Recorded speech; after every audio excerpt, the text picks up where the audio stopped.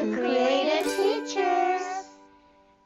Today's lesson is on back to school matching and beginning sounds. I'm Miss Gail I'm Miss Perry. and we have two helpers today. We have Mario. Hi Mario. Hi. And we have Danny. Hi Danny. Hi. Hi. The first thing I'd like you to do is let's say what these pictures are. What is this everybody? Apple. What's this? A bus. A bus. What's this? Pencil.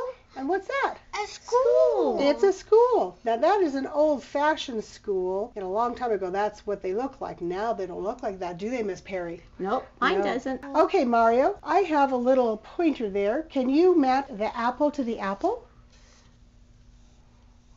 There you go. Pretty good. close. Very close. There you go, buddy. Okay, Danny, can you match the pencil to the pencil? There you go. And Mario, can you match the bus to the bus? Mm-hmm. Yeah, good job. There you go. Mm-hmm. And Danny, can you match school School. to the school? That's a Good girl. job, guys. Very cute. You did great on your matching. Okay, now we're going to talk about beginning sounds. What is this? apple. Apple. And what's the beginning sound of apple? Ah. And what does this word say?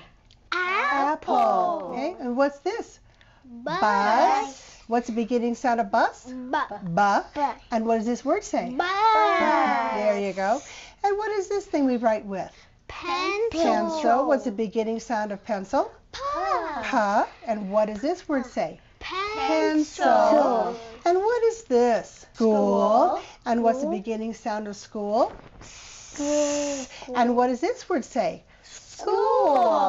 Very good. Okay. That concludes our lesson on beginning sounds and matching school objects. Thank you, Mario, for helping us. Welcome. Thank you, Andy, for helping us. You're welcome. This concludes our lesson.